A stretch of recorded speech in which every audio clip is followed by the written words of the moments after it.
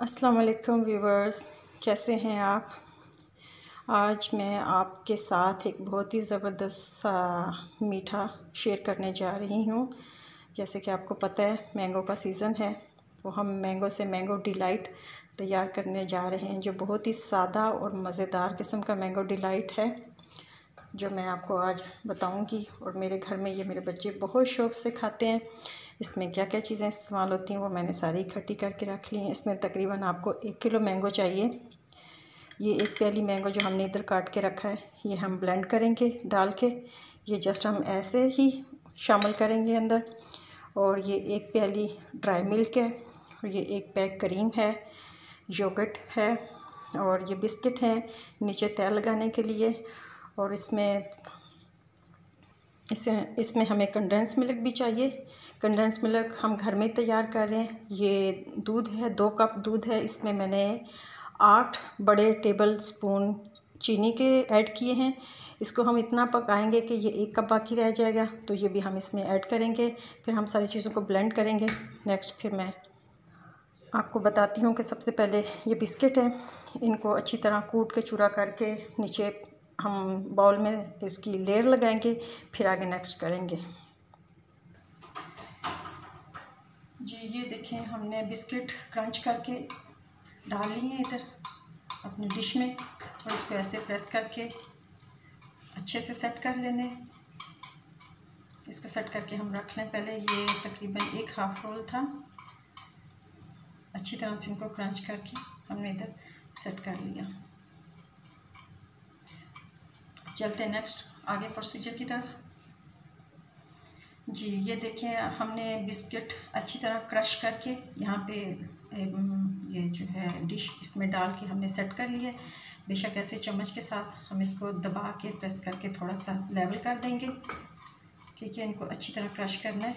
अब आगे चलते हैं नेक्स्ट प्रोसीजर की तरफ़। इसको साइड पे कर लेते हैं। या हम एक, हमने एक छोटा सा शीशे का बॉल ले लिया, उसमें हमने एक कप पानी डाला है, और उसमें डालेंगे ये एक प्याली जो हमने ड्राई मिल्क रखा था, इसको हम अच्छी तरह से मिक्स कर लेंगे। इधर हमारा दूध भी तकरीबन तैयार हो चुका है। बस इसे हम चंद मिनट और पकाएँगे, फिर इसको ठंडा करेंगे हम। ये देखिए, दूध अब हमारा अच्छी तरह मिक्स हो चुका है। अब ये दूध और ये मैंगो की जो एक प्याली, दही और क्रीम ये हम ब्लेंडर में डालेंगे और दही हम दो प्याले यूज़ करेंगे। मैंने यहाँ पे एक ही प्याली भर के रखी हुई है, दूसरी प्याली भी मैं डालूँगी। ये मैं सारी चीज़ें मिक्स करके ब्लेंडर में डाल लूँ। दूध भी हमारा तकरीबन ठंडा हो चुका है। ये देखिए मैंने सारी चीज़ें, मैंगो भी, दही, क्रीम और कंडेंस मिल्क जो मैंने खुद तैयार किया था वो भी ठंडा करके इसके अंदर डाल लिया है। इसको अब हम ब्लेंड करेंगे। अब हम इसे इस बाउल में शिफ्ट कर लेंगे फ़िलहाल। ये देखें, कितना अच्छा ज़बरदस्त ब्लेंड हो गया है। अभी हम इसमें जेलेटिन पाउडर थोड़ा सा पानी में मिक्स करके डालेंगे। और ये जो बाकी मैंगो हमने एक प्याली रखी हुई थी, ये वाली एक प्याली मैंगो ये भी इसमें डाल देंगे।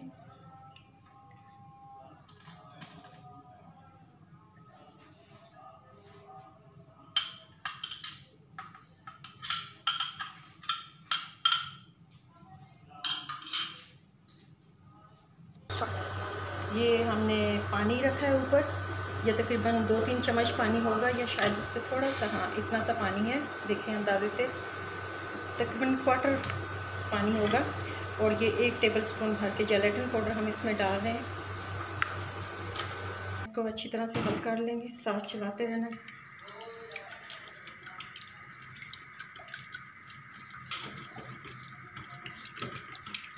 नहीं वरना गुठलियाँ बन जाएँगी।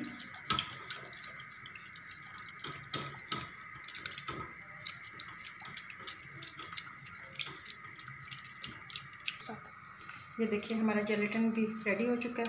ये देखिए बिल्कुल डिज़ॉल्व हो गया इसमें। अब हम इसको ठंडा करके अपने वो मटेरियल में मिक्स करेंगे। ये उसको डिलाइट को थोड़ा सा थिक करने में और उसको जमाने में काम करेगा। ये हमारा जेलेटिन अब ठंडा हो चुका है। इसको हम डालेंगे और मिक्स करेंगे अच्छी तरह से।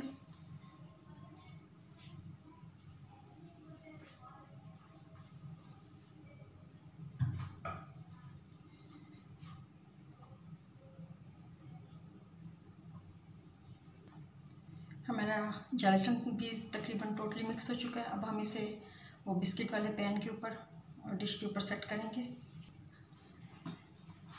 अब हम इसको इस डिश में आउट कर रहे हैं।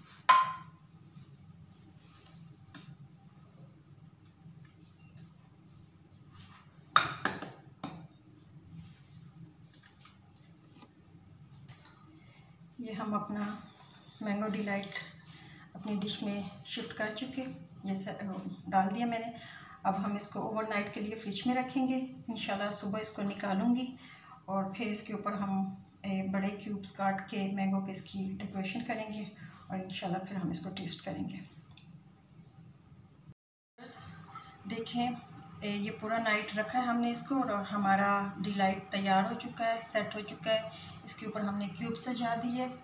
लेकिन इसमें एक बात का आपने ख्याल रखना है कि मैंगो जो मेरे पास आए थे, वो कोई इतने फ़ाइन मैंगो नहीं थे। आई मीन छोटा था थोड़ा और थोड़ा सॉफ्ट भी था।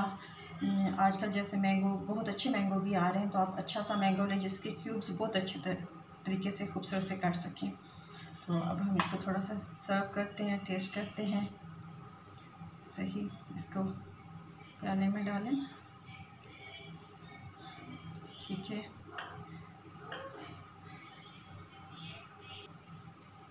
और मज़ीद क्यूब्स काट के इसके ऊपर आप यूँ करके सेट कर लें। जितना भी आपको पसंद हो, मैंगो डिलाइट है तो फिर इसको मैंगो डिलाइट ही रखें। जितना खूबसूरत आप इसको कर सकते हैं, करें और ये सर्व करें। उम्मीद करती हूँ आपको ये बहुत पसंद आएगा। आप मेरी रेसिपी को ट्राई कीजिएगा। और लाइक कीजिएगा शेयर कीजिएगा अपने दोस्तों के साथ मज़ेदार किस्म की ये रेसिपी और मेरे चैनल को सब्सक्राइब करना मत भूलिएगा और बेल आइकन को भी ज़रूर प्रेस कीजिएगा ताकि मेरी हर नई आने वाली वीडियो आपके पास बड़ वक्त पहुँचे। जजाकल्ला